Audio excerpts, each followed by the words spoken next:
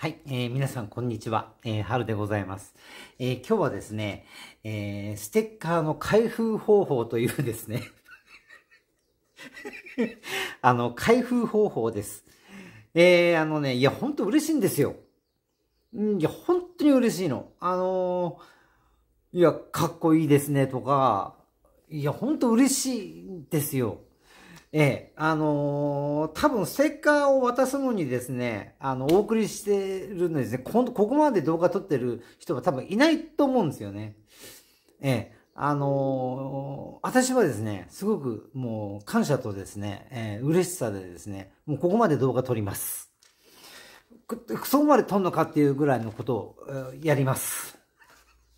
はい。えーとですね、まずですね、皆様にお手元に届くのがですね なんかあのさ、なんだろう、なんか試験の願書とか、なんかそんなような、あの、なんか感じ？みたいな、まあ、何、何言ってんだかわかんないわ。はい、いきます。えー、まずですね、こちらです。こちらのサイズの、えー、これ B5 かな？えーとね、えー、英語。英語サイズの封筒が届きます。はい。で、あの、この中にはですね、こんなような。はい。こちらがですね、2枚。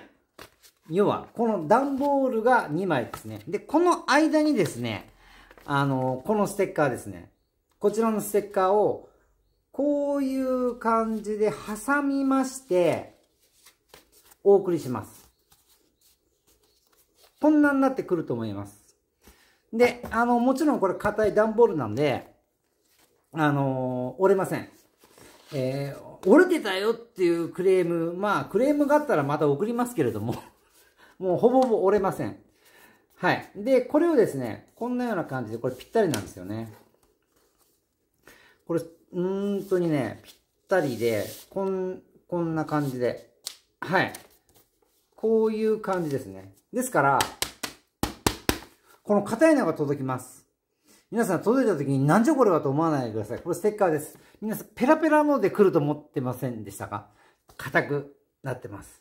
で、こちらをですね、問題は取るときなんですよ。これもピッチピチに入っていますんで、この中に、この段ボールの間に。これをこう無理やり取ろうとしてもですね、なかなか取れない場合がある。その時はですね、もうここからですね、この紙をビリッと破っちゃって、ビリッと破っちゃってですね、えー、でもですね、ステッカーはあの破れません。傷つきません。ちゃんと段ボールに守られていますんで。はい。こんな感じでですね、皆様のお手元の方に届くと思います。はい。